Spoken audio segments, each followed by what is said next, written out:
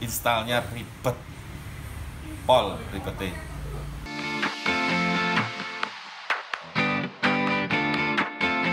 Assalamualaikum warahmatullahi wabarakatuh. Kembali bersama saya Muhammad Sokri dari Karisma Channel. Oke teman-teman semua Berjumpa dengan saya lagi ya. Sekarang saya akan membahas Intel Optane Nah, buat teman-teman yang mungkin belum paham apa itu Intel Optane, nah ini saya akan menjelaskan bagaimana cara garis besar bagaimana Intel Optane ini bekerja kepada komputer kita. Ini sebenarnya bukan produk baru di 2018 ini, ini adalah produk lama yang sudah meluncur dari Intel Optane mulai 2017 tahun kemarin. Cuman karena sekarang lagi dia dia support untuk notebook, jadi saya akan mengulas produk ini bermanfaat banyak apa tidak sama produk atau sama laptopnya teman-teman di rumah ya. Nah di Intel Optane Memory ini adalah kecerdasan buatan kalau menurut saya. Karena ketika teman-teman mau memutar musik tadi analoginya kayak tadi ya kita memutar musik kita nggak suka lagu itu kita akan next atau kita akan mau ganti atau folder atau mungkin dari artisnya apa genrenya apa. Tapi ketika dengan adanya Intel Optane ini dia akan mempercepat kinerja kita dengan kebiasaan yang kita lakukan dalam pencarian lagu tadi mungkin lagunya genrenya dangdut mungkin genrenya jazz atau mungkin genrenya kebiasaan kita itu akan disimpan oleh Intel Optane Memory ini dan dia akan memutar sesuai kebiasaan kita dan dengan lagu yang biasanya teman-teman putar. Analoginya seperti itu. Intel Optane ini juga membuat performa akselerasi komputer teman-teman atau notebook ya teman-teman menjadi lebih responsif atau lebih cepat seperti SSD saya bilang. Karena sistem kerjanya niru SSD biar bootingnya cepet buka apa-apa cepet buat main game juga FPS nya bagus. Itu garis besar kelebihan dari Intel Optane tapi dia juga memiliki kekurangan saya kira. Bagi teman-teman yang sudah membeli atau mungkin yang akan membeli Intel Optane biar laptopnya menjadi gereng atau PC-nya lebih cepat ini perlu disimak kekurangannya kayak gini. Salah satunya installnya ribet.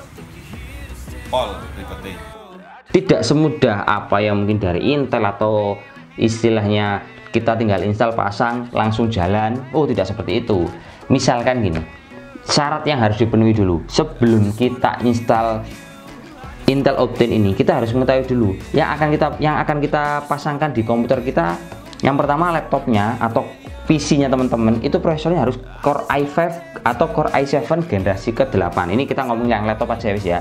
Jadi yang harus yang generasi ke-8 kalau Core i7 itu ada logo yang baru Core i7 Plus. Itu pasti bisa buat Intel Optane tapi kalau teman-teman sudah punya notebook di rumah karena saya mencoba di beberapa merek notebook Acer, ada Lenovo, ada Asus itu ada yang langsung bisa dan ada yang nggak bisa. Nggak bisanya nanti akan saya kasih contoh cuplikan videonya. Yang kedua teman-teman jangan berharap ini bisa diinstal Intel Optane untuk dua hard drive cuman bisa satu hard drive. Saya dulu memikirnya kayak gitu karena saya menggunakan di PC itu dua hard disk tak pikir dua-duanya itu bisa di Optane ternyata cuma satu hard disk saja. Itu saya kira juga kekurangan dari Intel Optane. Ya mungkin lain kali Optane ini support di semua harddisk yang sudah kita pakai. Karena kalau kita untuk editing itu butuh storage yang sangat besar sekali.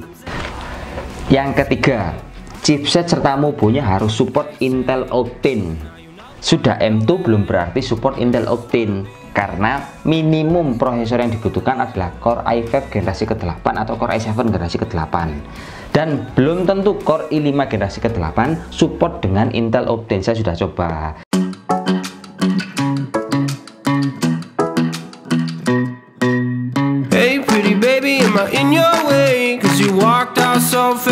yesterday. No, I don't think you're here to stay.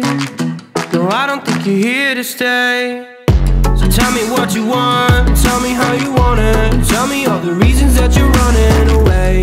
I don't think you're here to stay. No, I don't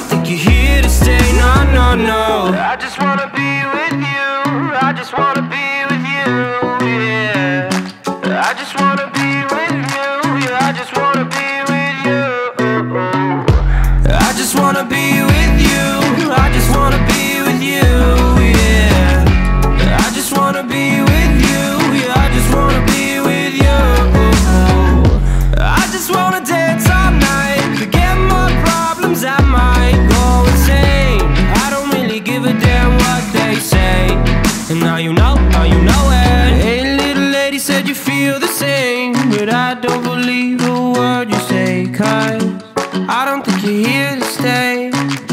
No, I don't think you're here to stay. So tell me what you want, tell me how you want it. Tell me all the reasons that you're running away. I don't think you're here to stay. No, I don't think you're here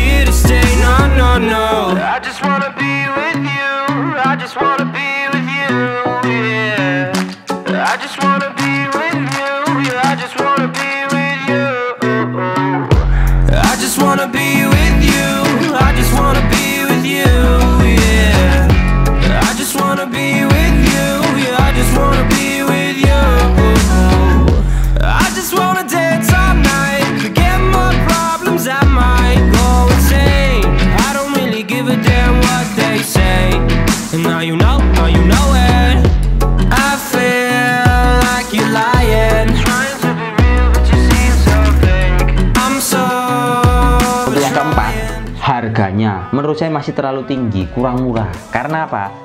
Ini sekarang di 2018, di akhir tahun harganya udah 600.000. Dulu awal keluar, yang 16 GB tok ini harganya 900.000. Mahal sekali. Nah, sedangkan SSD sekarang di kapasitas 120 GB untuk M2 itu harganya sudah mulai 500.000.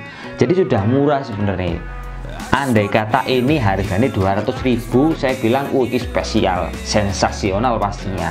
Tapi karena harganya 600.000 jadi tidak terlalu murah-murah amat saya kira.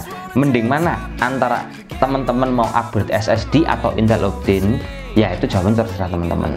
Kalau saya sudah menggunakan Optane dan saya puas tapi tetap aja ada kekurangan yang harus teman-teman ketahui sebelum teman-teman mau menggunakan produk Intel Optane ini nggak muluk-muluk bagus tapi tetap ada kurangannya.